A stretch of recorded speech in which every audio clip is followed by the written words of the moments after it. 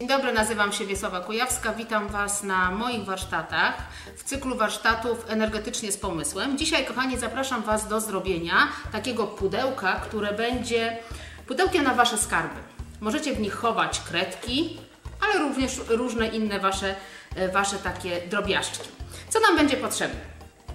Pewnie Nieraz w domu znalazła się u Was, znalazł się u Was kartonik po y, soku. Ja tutaj mam y, kartonik po soku pomarańczowym. Będą nam potrzebne stara makulatura, jak i klej, elementy do dekoracji i wykałaczka. Moi kochani, będziemy wykonywać to metodą y, wikliny papierowej. Pokażę Wam jak to się robi. Musimy sobie dokładnie taką kartkę nawinąć na wykałaczkę, docisnąć, przesuniemy, przesuniemy wzdłuż i sklejamy. Takich karteczek wikinowych będzie nam potrzebne około 40 na taki kartonik, więc chwilę to potrwa, zanim sobie przygotujemy materiał.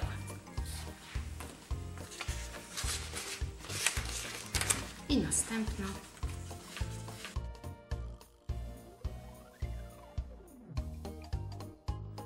Kiedy już mamy, kochani, naszą papierową wiklinę, udało nam się wszystkie złożyć, przechodzimy do kolejnego etapu. Nasz kartonik po soku musimy rozciąć. Jest to dość trudne zadanie i będziemy musieli poprosić osobę dorosłą, jeżeli macie taką możliwość. Wytnijcie sobie w takim miejscu, jak wysoki chcecie mieć ten, y, ten wasz, to wasze pudełeczko, ten wasz pojemniczek. E, ja tutaj zrobiłam taki po skosie, żeby Wam pokazać, ale mm, teraz zrobię na prosto, czyli obcinamy to, co jest nam w tym pudełeczku zbędne. Jeżeli się Wam troszeczkę krzywo, to nie ma problemu, potem to wszystko wyrównamy, kiedy będziemy już naklejać tą wiklinę. I moi kochani, następny etap, przyklejamy nasze rureczki do kartonika.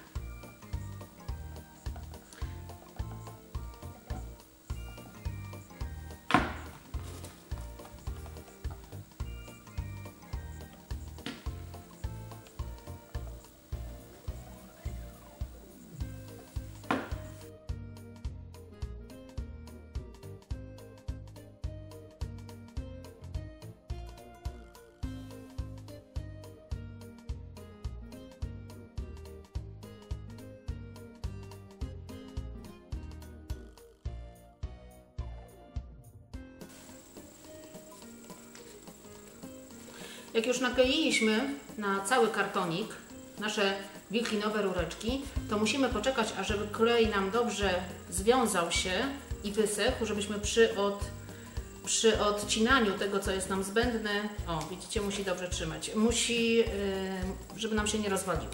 No to musimy chwilkę poczekać. O, odstawiamy i czekamy.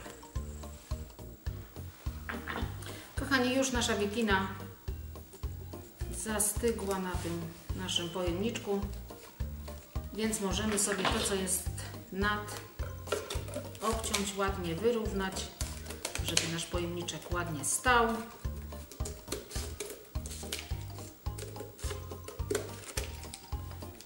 I to samo robimy z górą.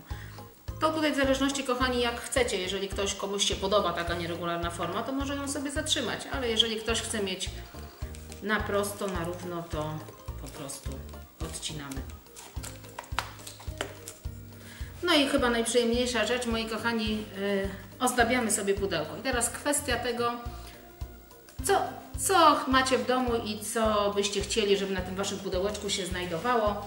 Ja wykorzystałam tutaj cykinki, ale moi drodzy, możecie również wykorzystać sobie materiały z takich toreb prezentowych. Możecie wykorzystać kolorowy papier, a jak możecie również wykorzystać farby, pomalować to farbami.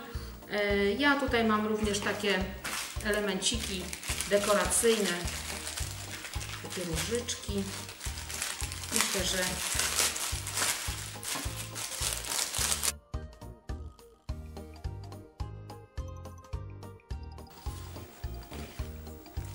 Moi kochani, tak jak powiedziałam, ozdobić możecie to wszystkim, czym macie w domu, na co macie ochotę. Ja pokazałam Wam dwie możliwości, bądź cykiny, bądź takie gotowe elementy e, w postaci kwiatuszków. Może to być też fajny prezent dla, jako e, osłonka do kwiatka, na przykład na dzień mamy, na dzień, e, na dzień babci. Moi kochani, życzę Wam cudownej zabawy i korzystajcie z takich fajnych pomysłów i z naszych warsztatów. Pozdrawiam serdecznie, do zobaczenia.